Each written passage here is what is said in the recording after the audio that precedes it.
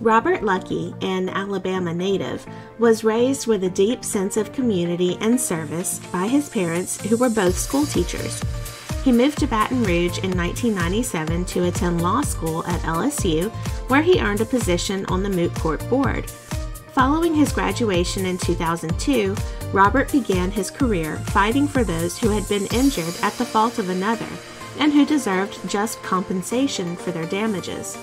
He and his business partner started the Lucky Law Firm in 2010 and would go on to open Mid City Title as well. Together, they serve clients throughout the entire state of Louisiana. In addition to his legal work, Robert is an active member of the Baton Rouge community, devoting his time and resources to a variety of charitable causes and civic associations. He serves on several boards, including the A.C. Lewis YMCA and the Baton Rouge Children's Advocacy Center. Robert also supports at least a dozen other local charities, including the Krewe of Apollo, the Robert A. Bogan Fire Museum, Kiwanis Club of Baton Rouge, and Louisiana CASA, just to name a few. Robert is a prime example of working hard and playing hard.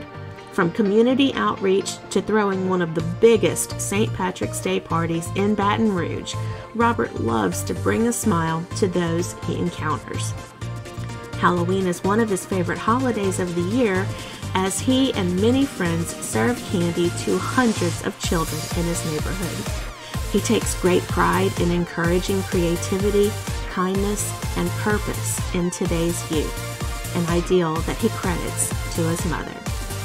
Please congratulate our lucky 13th Grand Marshal, Robert Lucky.